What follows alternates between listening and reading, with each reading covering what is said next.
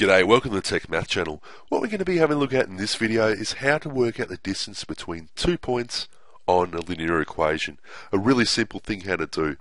In this video also what we'll do is explain why this works, just so you truly understand what you're doing and I tell you, it'll make life really easy uh, when you're trying to remember how to do this.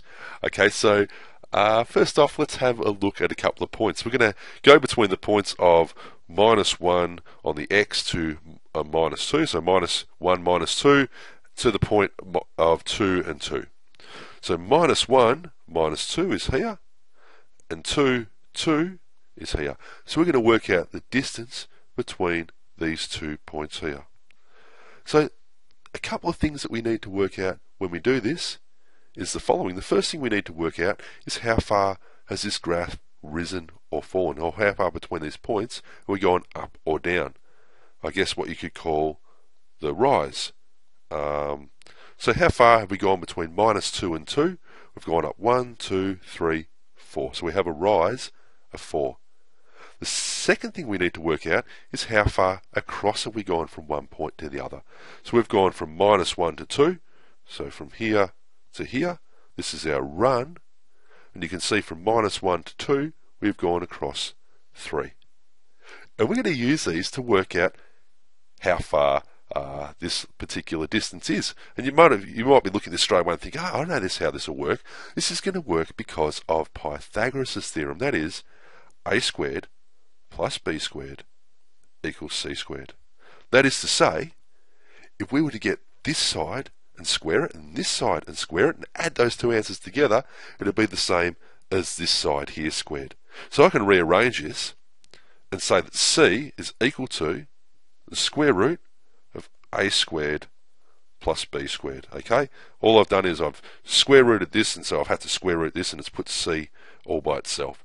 So another way of writing this is you might think, well, okay, I could write this as this distance here is equal to square root of the rise squared plus the run squared. Okay, so we're going to get the rise squared, the run squared, we're going to add them together and square root our answer, and that will tell us this distance here.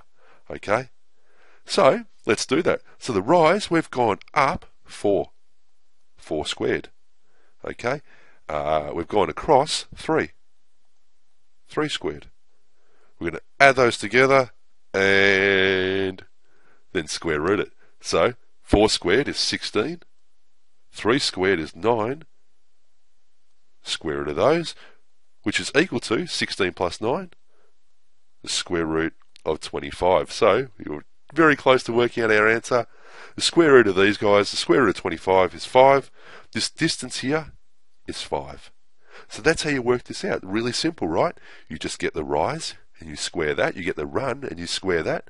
You add them together and then you square root your answer just like you do in Pythagoras' theorem. Okay, so it's quite a simple thing. I'm going to go through another example of these just to make sure you're okay. So the example we're going to have a look at is where we're going to go from the point of minus 3, 1 across to the point of, what about 4 and 4?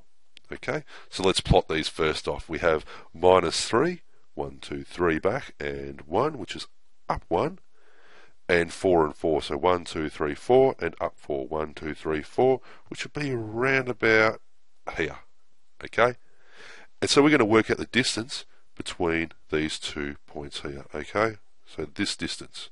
To work this out, we're going to go C is equal to the square root, see if you can remember this, of the rise squared plus the run squared. So how far have we gone up here? This is this distance here.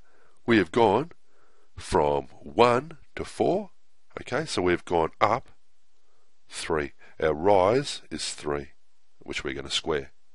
How far across have we gone? We've gone from negative 3 to 4, so we've gone across 3, and then we've got another 4, so that's 7. So plus 7 squared. Okay, we're going to add those together and square root our answer. So this is equal to, what's 3 squared? 9. 7 squared? 49. We're going to square root those once we add them together. So 9 plus 49 is 58. So the square root of 58 is our answer. And your teacher might allow you to leave you leave it like this. You could take this a step further. You could uh, quickly work out the square root of 58, and the answer when you do that, it's going to be about 7.7. Okay? So that's the way you go about working out the distance between two points on a linear equation. Really, really simple. Okay? Uh, anyway, hope you enjoyed this video, and I'm looking forward to uh, seeing you next time. Okay, bye.